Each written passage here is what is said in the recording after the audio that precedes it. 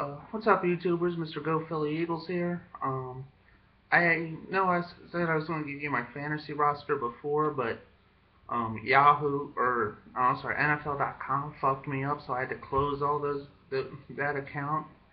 So I had to join um, fantasy football on Yahoo. Just um, completed my draft. So um, I think I got a pretty good roster, but let's see what you think. See, I got Tom Brady as my quarterback. I got Reggie Bush in my backfield. Then I got the wide receiver duo of AJ Green, Vincent Jackson, and Santonio Holmes. It's a pretty good wide receiver combo. I was hoping to get DeSean because I think he's going to go off this year, but the guy before me grabbed him. You got Willis McGahee also. Dallas Clark, and one of my one tight end who actually signed with. I didn't know he signed with Tampa this year, man. Tell you, man, Tampa's looking pretty damn good. Um, David Akers, I got the Denver defense. I I was hoping to get Baltimore, like one of the elite defenses, but I don't know. Denver's defense, eh, they might be okay this year. I don't know. I I don't know yet. Um, I got Alec in my on my off my bench. I got Alex Smith, Rashard Mendenhall, Dustin Keller, Austin Collie, Matt Bryant, and Devin Hester. I think it's going to be a pretty good roster. I think it's to be actually a pr- damn good roster considering last year was my first year playing fantasy football, and I didn't think anything of it, and it, I just hit the auto draft and believe you me, that is that was the last time I will ever do a fucking auto draft. And if you haven't played fantasy football before and you're thinking of joining up, do not do auto draft. Believe me, your roster will not be good. I got my ass kicked every fucking week last year. So now I had to watch the Eagles lose last year, then I get my ass kicked in fantasy. So, but yeah, I mean, it's gonna be a good roster. Um, I want to apologize for the poor audio on my last video, um, which was basically the Eagles Steelers recap. It just basically gave my, you know, um, general thoughts for that game. Um, I finally just got the internet in my house hooked up, and by I I got it hooked up, I mean Verizon hooked it up.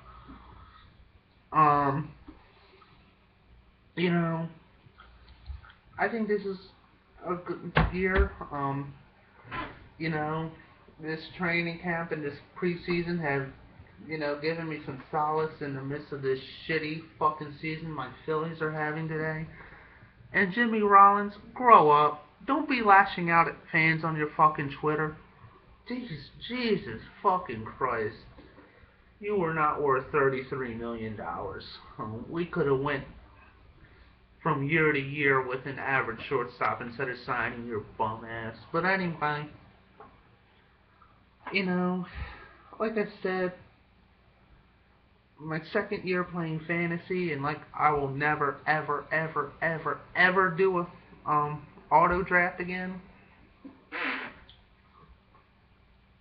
So I think I had a pretty good. I really like my wide receiver combo. AJ Green had a great year last year. Santonio almost had a pretty good year last year.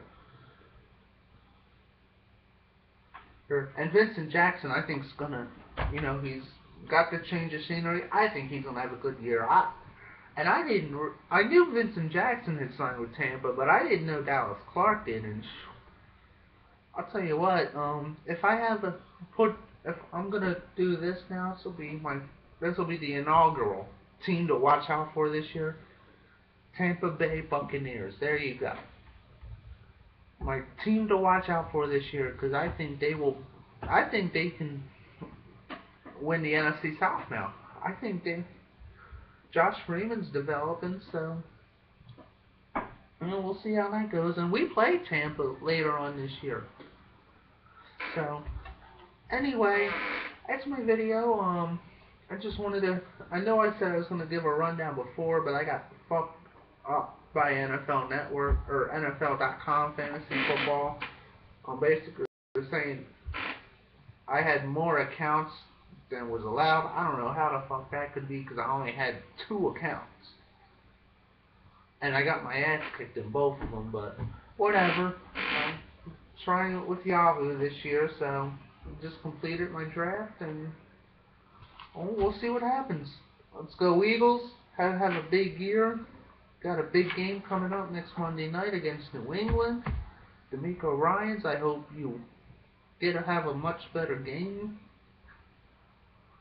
Uh, DRC, um, I hope you don't try to launch yourself at Brady again. You're probably, I'm surprised you, I, I don't even know if you've gotten fined yet. I haven't heard anything official, but, you know, we'll see. This could be a good year for our Eagles. Let's go, let's go get the ring, baby. Woo!